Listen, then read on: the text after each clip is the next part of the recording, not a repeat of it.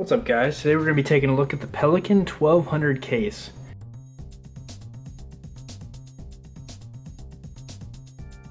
So this is a case from Pelican that is waterproof, dustproof, and is fairly shock resistant because it has foam within the inside. So the main driver for me picking up this case is I actually just got a new camera. So today we're going to be taking a look at it and then I'm going to do a time lapse of me cutting the foam out on the inside in order to fit the new camera in there. So let's go ahead and open it up. Um, the latches on this thing are super tough.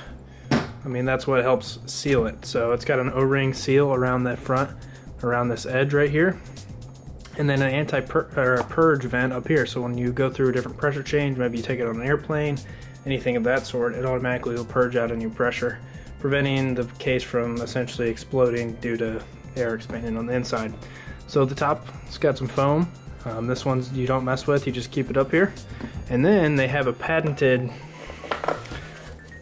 pull apart system. So I just pulled all the foam out. So you can see this is about a 9 by 6 case. So it, will hold a fair amount without being too bulky.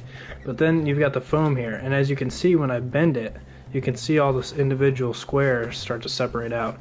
So what we can do with this is you can pick out each one of these squares and custom build your own case foam. That way everything fits in there snugly and everything's protected just how you want it. Um, a couple other things I want to look at real quick is it does have tabs for locks up here. So there's little loopholes to put a lock through if you wanted to.